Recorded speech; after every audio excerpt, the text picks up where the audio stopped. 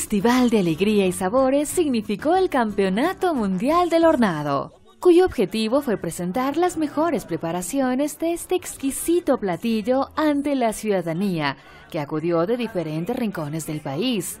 Con esta iniciativa, Ecuador apunta a convertirse en una potencia turística, así lo afirmó el ministro de Turismo, Fernando Alvarado. Cada territorio, cada población, cada comunidad mantiene su propia forma de preparar sus platos tradicionales, constituyéndose así en una motivación y en un atractivo turístico para que se pueda conocer el Ecuador a través de su gastronomía diversa, peculiar y única.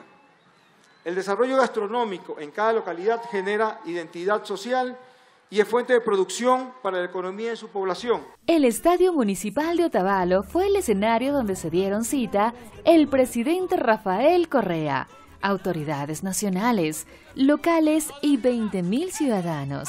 A través de una votación secreta, 20 provincias participaron de la edición de este certamen, de las cuales 10 llegaron a posicionarse entre las finalistas. El primer mandatario degustó esta tradicional comida y demostró su apoyo a la cocina ecuatoriana. Esto son cosas sencillas, hechas extraordinariamente, y cosas extraordinarias hechas con sencillez, a promocionar nuestra gastronomía, a querer lo nuestro. ¿Quién no ha comido? ¿Quién no ha probado la rica gastronomía ecuatoriana, pero la popular, en los mercados, en los agachaditos, en la tiendita, hechas por esas caseritas, por esas madrinas, con tanto cariño? Y eso es lo que hemos querido resaltar, porque además es una parte muy importante para atraer el turismo. Un plato centenario que ha cautivado el paladar de propios y extraños.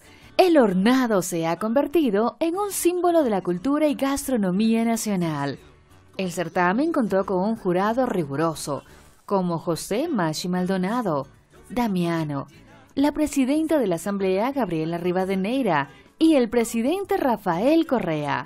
La ganadora pelileña Fernanda Ramos, de Hornados Carmita, demostró su felicidad tras alcanzar el reconocimiento al mejor hornado del mundo.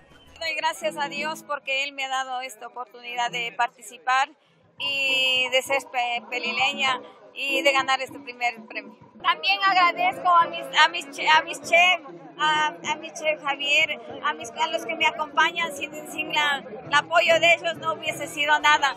Este acto finalizó con música y cánticos, y con la esperanza de que el Mundial del Hornado se convierta en una de las principales vitrinas gastronómicas del país y el mundo entero.